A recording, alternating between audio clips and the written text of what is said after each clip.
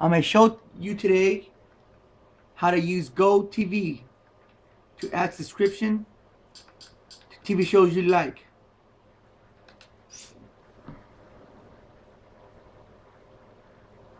Launch your GoTV. Go to popular.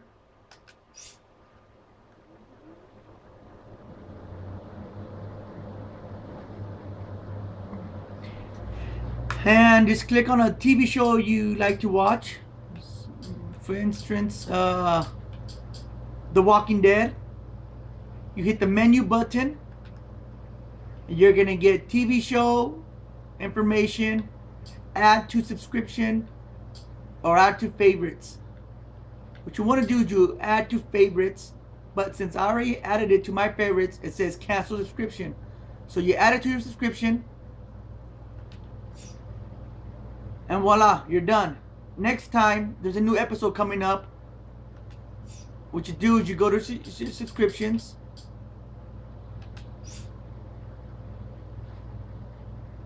log on and these are all the TV shows that I have subscribed to.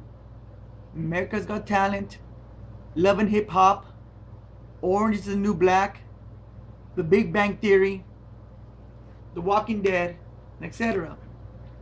So what you do now is if you want to watch earlier episodes, you click on that TV show. It has all the seasons. And I'm going to back up. And I'm going to show you. When you click on Go TV, you're going to see something that says episodes. This is for all the TV shows you have added subscription to. It will have the latest episode aired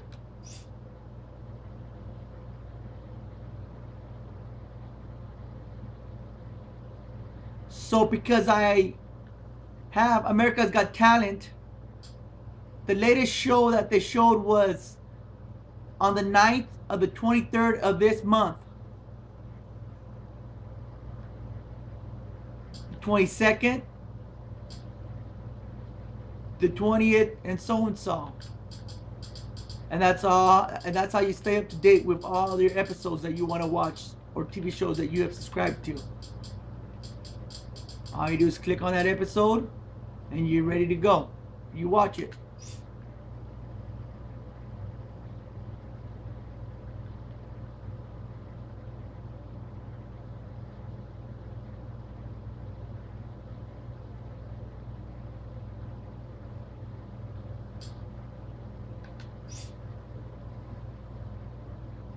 So this is the latest or the last episode from America's Got Talent.